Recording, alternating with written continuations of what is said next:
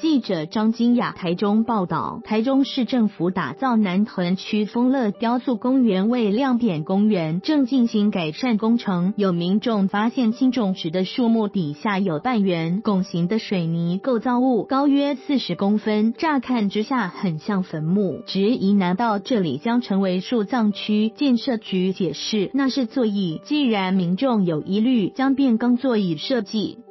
市府正在丰乐雕塑公园进行绿美化、人行道改善等工程，其中林永春东一路入口处原本是广场，最近新植多棵树木，有十棵树木旁底下建造半圆拱形的水泥构造物，高约四十公分，水泥构造物两端又以十几公分高的铁片围起来，整个形状就像坟墓。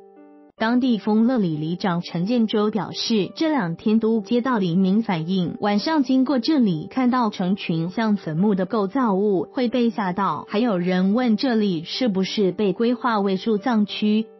陈建州说：“丰乐公园是台中市知名的公园，不止附近居民会前来休憩、运动，假日还有来自外县市的游客。他很支持改善公园设施，但若会引起民众负面观感，建议市府能在尚未完工前修正，让民众安心使用公园。”该工程委外的规划设计公司解释，该水泥构造物是椅子，两边做成斜角，是无障碍设计，方便小朋友及行动不便者可以慢慢从两边挪动身体到座椅上。现在围起来的地方将种植栽，高度和椅子差不多。完工。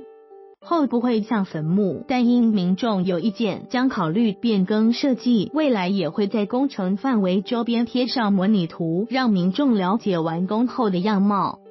建设局长黄玉玲则表示，因为丰乐公园该处入口处没有座椅，工程因此扩大树穴，除了提供树木好的生长环境，也在树穴旁增设座椅。施工前已在地方召开说明会，现在民众有疑虑，将变更座椅设计，不要两边的斜角，并加长座椅长度，完工后会很漂亮。他也提醒民众，目前仍在施工中，为了自身安全，请勿擅闯工地建设局也会加强工地安全管理。